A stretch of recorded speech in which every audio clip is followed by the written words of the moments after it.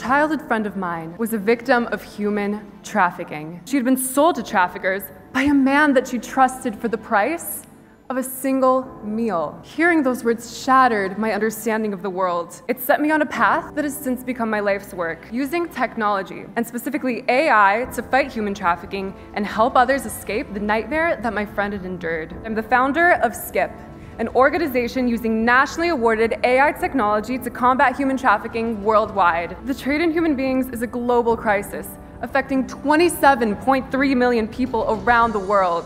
Less than 1% of these cases are detected and successfully addressed. A single case can take an average of 38 months to investigate, requiring analysis of thousands of data points, like phone records and social media activity. The process is not only slow, but extremely costly. But SKIIP is using data science to change the sad story. SKIIP includes AI-driven cybersecurity solutions that can analyze patterns in online activity and identify potential threats. We scan vast amounts of online data to flag hotspots of trafficking activity.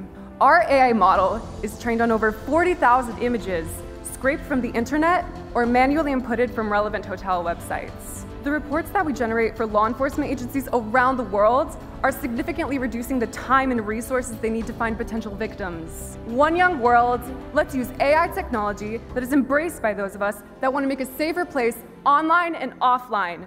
Let's use AI to end the modern day slavery of human trafficking so we can all live our lives with the freedom we deserve.